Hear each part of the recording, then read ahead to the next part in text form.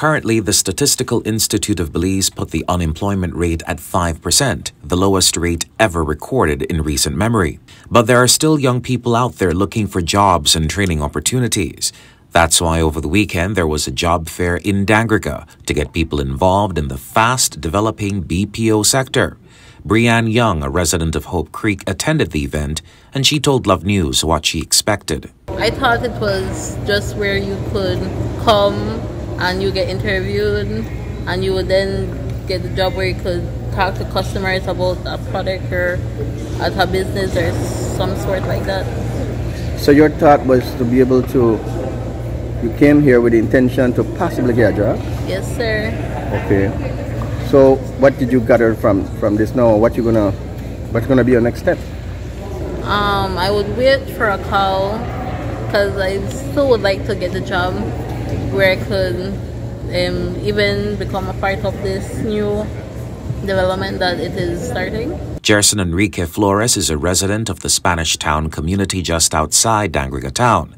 He's looking forward to training so he's ready for when the sector goes into full swing. The purpose I come here because I saw the um the, the flyer going around the media. Mm-hmm. I didn't saw it. My sisters um sent me that and said, "Hey, listen, we got opportunity to just better our life because in my background, we like my sister and I, our dad he just left at a not a young age, but he says it's a better better way to start our our our opportunity since the um, ERAP is is giving this opportunity of um, giving us the chance to do training and on, on BPO. So when we um, when the um, other business of BPO came, come to Dangriga, we have the um, um, capability. But for Minister of State Dr. Louis Zabaneh, the BPO sector is not the only thing on the horizon.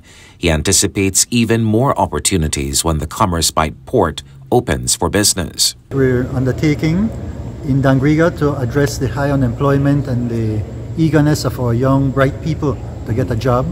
But we're also working vigorously to reopen the Commerce Bight port. As you know, the community here has been fully apprised and engaged on the reopening of the port for small cruise ships, 100 to 500 passengers. That has a high multiplier effect in the community. Uh, the people who come on these small cruise ships uh, spend multiple three to five times more than those on the, the regular cruise ships. Uh, has an impact on the entire community because these people stay longer and they spend more um, for food, for example, to buy wares, etc., in the community.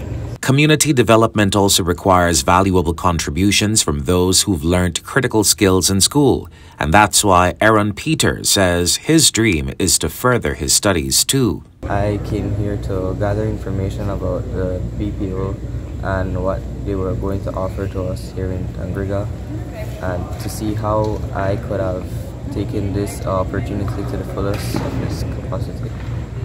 Okay, um, are you satisfied what you gathered from today's event? I'm very satisfied with what I gathered from this uh, event because it's more of a uh, training that they're going to be hosting to prepare us for the BPO and also uh, a way to Mr. Zabaneh offered a way for us to further our education so I'm very pleased with that because I too wish to further my education. Kimani Castillo also wants to participate in uplifting his community so that spaces can be safe and conducive to learning and productivity. The Reason why I'm here today is to uh, learn more about what is a BPO because um,